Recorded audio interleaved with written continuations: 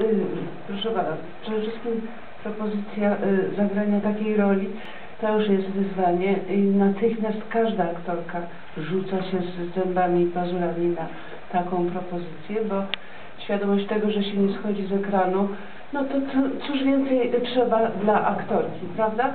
To po pierwsze. Po drugie, miałam okazję zetknąć się z Michałem w przysłonku.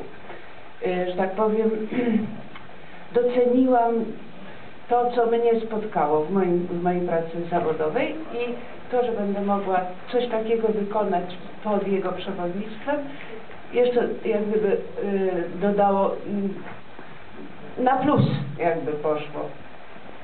Y,